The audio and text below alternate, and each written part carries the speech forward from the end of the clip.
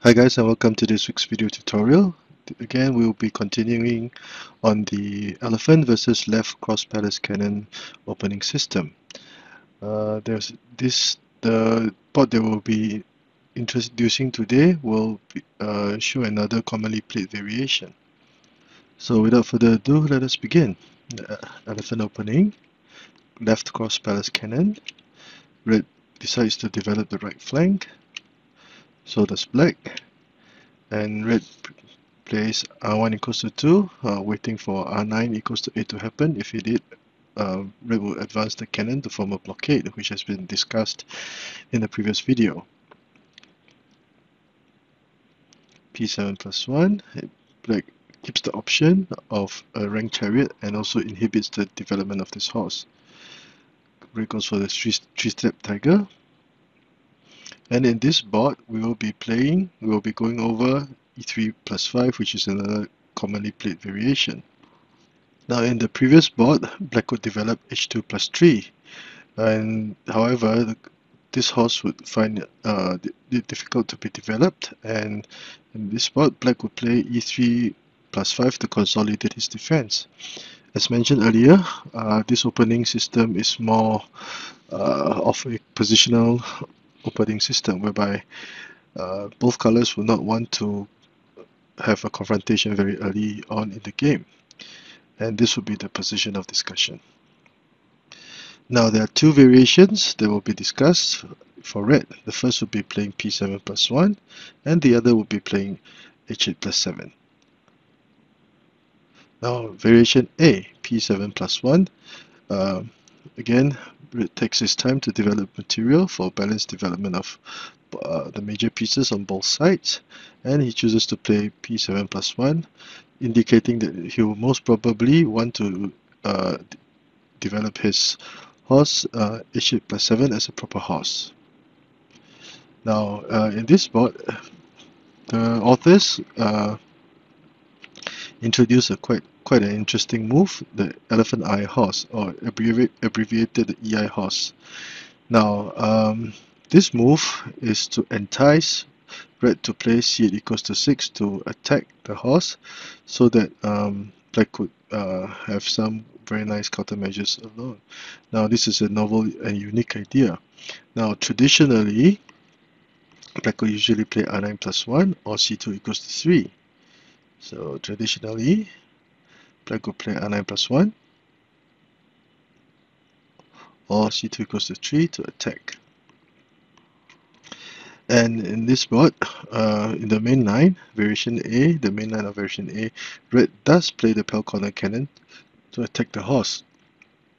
Now this would, red will fall for the trap. And although red would gain instant gratification, but uh, after an initial uh, initial stage of happiness, uh, there will not be any more tactical combinations that Red can continue with. Now, uh, instead, h8 plus 9 should have been played in this move, and uh, this would be in accordance to Black's unconventional elephant eye horse. Uh, by the way, for beginners, the elephant eyes would refer to intersections whereby uh, once a piece was placed, the elephant cannot be linked. Uh, there are eight such intersections 1, 2, 3, 4, 5, 6, 7, and 8. So let us see what uh, Black would have in store. Black would first develop his chariot to protect the uh, horse.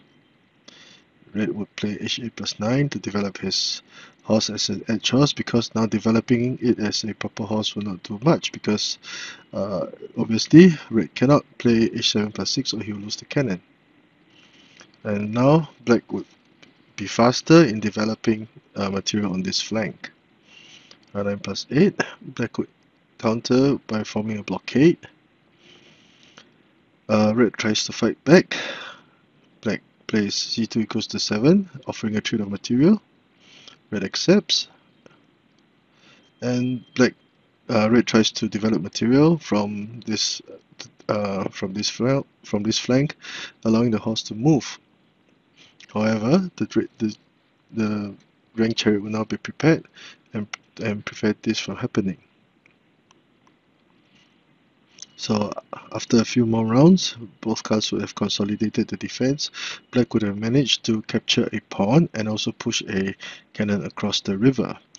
And at this point in time, uh, as, as can be seen, there are not many good intersections for both colors to on the board left. So black would have eliminated the each the weakness of the elephant eye horse and uh, black would still have a very playable game which can be very happy. Now the authors commented that at this point in time black would already have the slight advantage. So this would be variation A. Now in variation B, red would develop his left horse immediately as a proper horse for the screen horse uh, defense, uh, screen horse formation. And black would adopt the double-headed snake pawns to inhibit the uh, development of both the, the red horses. Red goes for, for a symmetrical opening with c, c equals to 9, preparing to develop the chariot. h2 plus 3, a 9 equals to 8. Otherwise, if the horse would play h3 plus 2 and red would have trouble developing this chariot. And black retreated the cannon to the bottom rank and this is a common commonly used counter by the cross palace cannon, uh, the color plain cross palace cannon, whereby the cannons retreated usually to the bottom rank for allowing for uh, defense and offense if need be. Now, at this point in time, uh, this would be a very agile counter. But what would happen, or would it be plausible for black to play r, r1 equals to 2? Red would immediately play r8 plus 6, and as can be seen, the congestion the congestion uh, in on this flank will now become an issue. Black will usually offer a trade of material, red would attack the horse, black will protect in this manner, b7 plus 1, to allow for development of this horse to further his attack, b3 plus 1.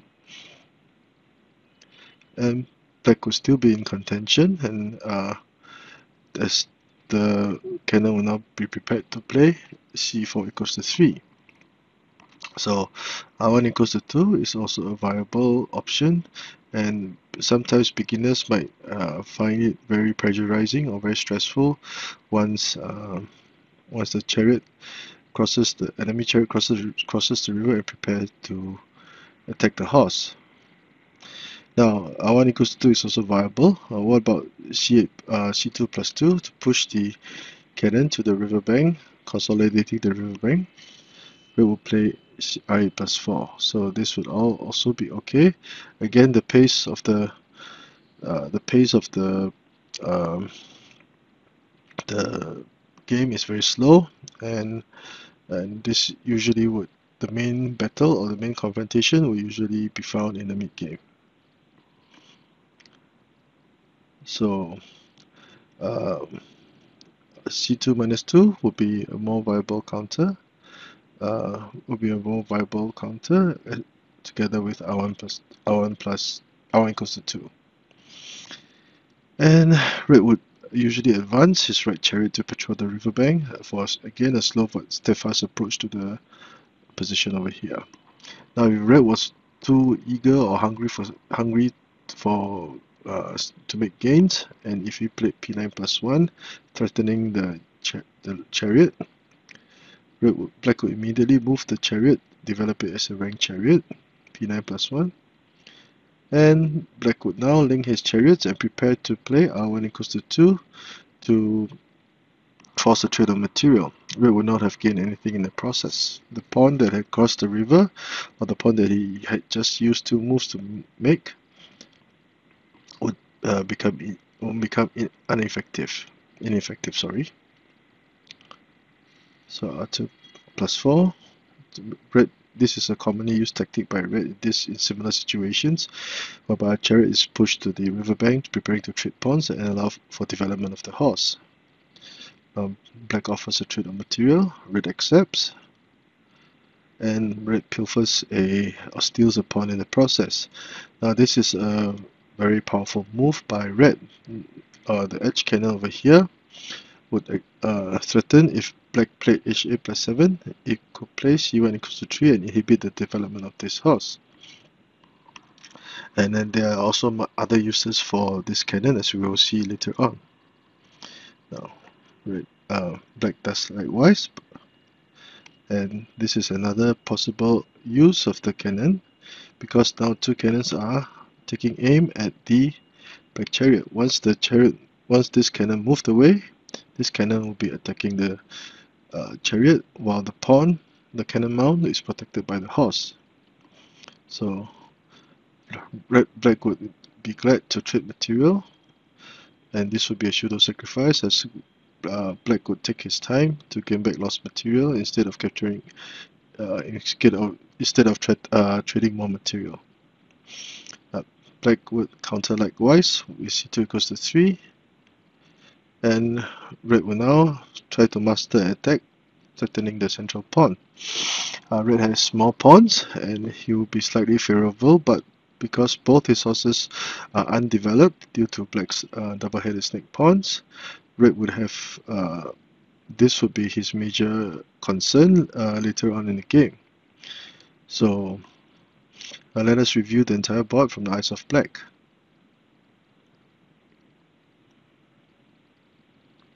Elephant opening, cross palace cannon, h2 plus 3, developing the left flank, r1 equals to 2, p7 plus 1. So far so good. In this spot, red continues with c2 equals to 1 to give this chariot a line of development. And this will be the topic of discussion for this spot. Uh, black consolidates its defense with e3 plus 5.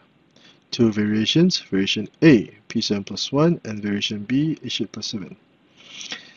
Variation A, red will push p7 plus 1 and black could play a very interesting move uh, of the elephant eye horse. Now usually, again, usually r9 plus 1 or c2 equals to 3 is played by black. Uh, red fell for it, choosing to attack the horse. Now, if it, it with h, uh, this would be the recommended move. If it, h8 plus 9 were played, uh, red could be prepared to develop the chariot and um, this chariot could be developed as a rank chariot and red will first occupy this very important file and thus disallow the development of this black chariot. Another option would be uh, what would happen if h8 plus 7 were played. Uh, black could now play, push trade uh, offer a trade of pawns. Let's say if red accepted, black could now play r1 equals to 3 and start an attack from over here. So the best move for black once the EI horse is played would be to play h8 plus 9. So in this board, in the main line, c8 equals to 6 was discussed. Rank chariot to protect the horse. h8 plus 9, r1 equals to 2, but as can be seen, black will be faster in developing the chariot. And uh, once r9 equals to 8, Black would be more than happy to push the cannon across the river. H2 plus 4. Black try, uh, red try, prepares to trade pawns to allow for development of his horse. And black offers, uh, captures the pawn, preventing that from happening and offers a trade of material. And red develops the horse. Black prevents it and red decides to consolidate his defense and r2 plus 3 so black would have a very playable game. Uh, and this main line um, version A sorry uh, black would use the tactic of trading material very nicely to gain a very uh, a nice position going into the mid game. Now in variation B sorry h8 plus 7 was played as red chose to develop both horses for the screen horse formation p3 plus 1, h8 plus 9. Red will be faster in developing the chariot, and black will counter very agilely, uh, very versatilely. This is uh, with much versatility with this uh, by retreating the cannon. Uh, C1 uh, R1 equals to equals to 2 is also sound, as black will still be able to hold his own. But uh, if c2 plus 2, red can play c8 ra plus 4 to prepare to trade pawns. So at this point in time, either c uh, either r1 equals to 2 or c2 minus 2 would be viable. Now in this in version B, uh, R2 plus 4 was played in to counter this cannon. Now this is slow, slow but steadfast approach as Red would be prepared to develop the horses. Black would not want so, so he offered a trade of material. and the red cannon will now start to make mischief. Again, uh, as mentioned earlier, this cannon would attack uh, the pawn rank. Red tries to dislodge it.